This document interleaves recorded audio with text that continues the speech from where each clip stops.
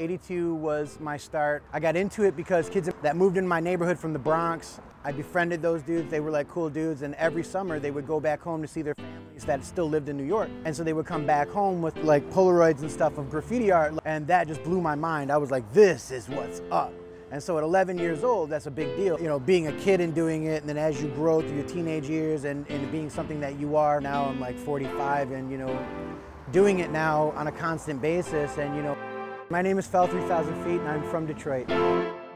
So when I did the letters uh, for Dad, um, it's kind of a deep process. The, the, the people that work in that area wanted to rebuild that area. And if you were ever in the Lincoln Art Park, and it's an amazing place, and there's a lot of aspiring artists, but a lot of legends go there. We're there a few years back, before 2012.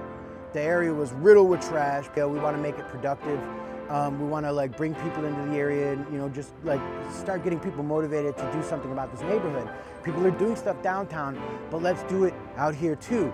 Let's make it happen here. And so I was like, well, what do you want me to do? They were like, we want you to do something, just do a mural.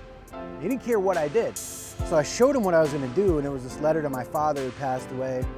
And um, I'd been really reeling over, over the loss of my dad.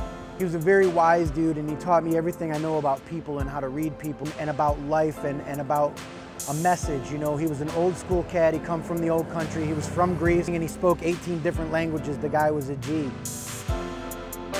So in my life, he was, he was, you know, he was, he was a titan. When I lost him, I lost a very big piece of myself. And um, I told them, I said, well, I'm gonna do a letter to my dad. I want it to be a, I want it to be like a little kid throwing a paper airplane and I want the airplane to float through the city and I want it to open up and then there'd be this very personal message to my father. This is personal to me and when people read it, they're gonna start to understand that this place has emotion and then they'll tie that emotion to this area. And instead of throwing the trash in the ground, they're gonna start picking it up. I said, watch. And, and they did because I wanted to associate a feeling with the neighborhood and be a part of a solution, which has been my platform for the last 15 years in Detroit. And so on the last few days, I had my son come out and he worked on the piece with me. I remember standing back and looking at him, watching him paint and he's up on a ladder and he's writing his name and he's doing whatever, you know, and seeing him and seeing three generations of, uh, of, of person in my family doing something and being out there, it really kind of touched and moved me.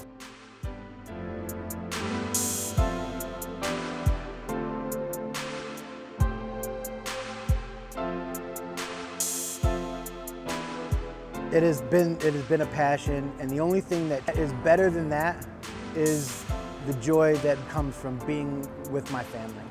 If I'm with my, my wife and my children, um, that to me uh, will take an uh, easy place, like like writing and painting and doing graffiti and shit is a, is a, is a close second to sitting there watching my two-year-old uh, badger my 18-year-old.